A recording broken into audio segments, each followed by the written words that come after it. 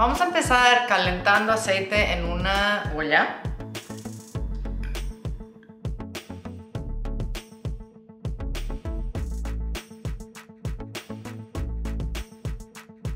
Le voy a aumentar tres cebollitas verdes, cebollinas, cebolletas.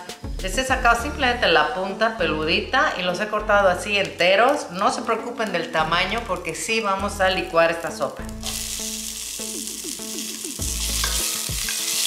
Vamos a cocinarlas unos minutitos. Le vamos a poner un pedazo de jengibre pelado. Ahora, miren, son como dos dedos. No se preocupen mucho de la cantidad. Mientras más jengibre le pongan esto, más picante va a estar. Así que ustedes decidan. Eh, pero más o menos creo que aquí hay como una pulgada y media. Pues no importa. Vamos a picar esto. Lo, lo voy a cortar y lo voy a meter a la olla. A la olla. Tengo un pequeño jalapeño que le he sacado la membrana y las semillas y eso como siempre es opcional, pero como ven lo he cortado.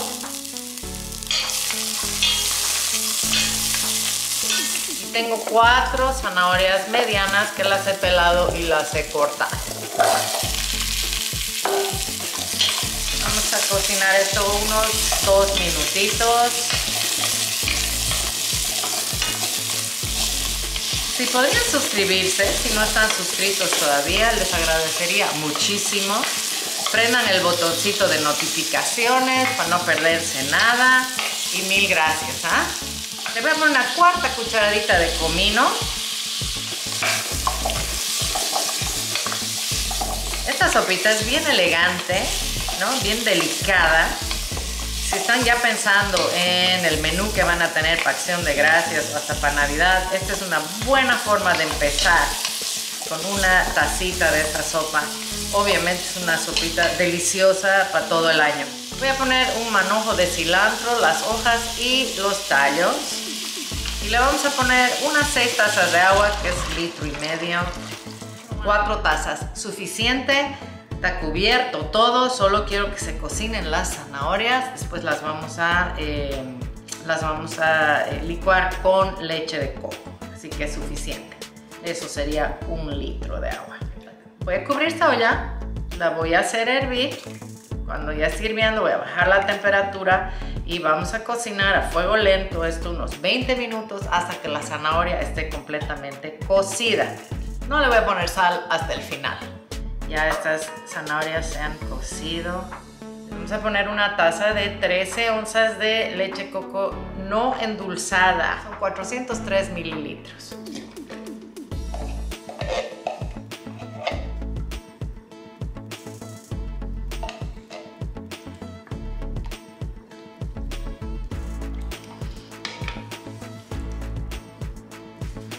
Voy a poner sal. Después la voy a probar para ver si quiero más. No voy a usar la licuadora de inmersión para eso, porque quiero que esta sopa esté, pero bien, bien cremosa. Entonces voy a esperar que se enfríe un poco esto y lo voy a ir a licuar y vuelvo. Miren esta sopa hermosa, sedosa, deliciosa. Sí les tengo que recomendar que cuando licúen su sopa, si no tienen una licuadora así súper potente, eh, van a tener que colar eh, la sopa después porque les van a quedar fibras del jengibre y eso a nadie le gusta. Si tienen una buena licuadora, ni se preocupen. Vamos a servir, vamos a calentar esto y servimos. Probemos a ver si necesitamos ajustar la sal. Para mí está perfecto. Voy a poner un poco de la parte verde de la cebollina, cebolleta, cebollita verde y un poco de cilantro picado encima. Como ven esta crema está espesa, no necesitan ponerle harina, ni maicena, ni nada de eso. Miren qué linda esa crema. Voy a servir esto con un poco de limón y le voy a poner a la sopa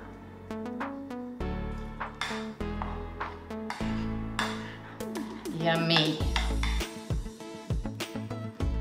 Mm. Oh my gosh.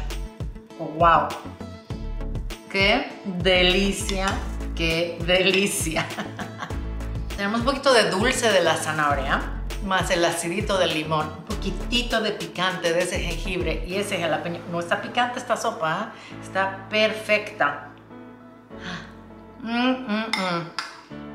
Gracias por ver el video, lo aprecio mucho. Nos vemos pronto.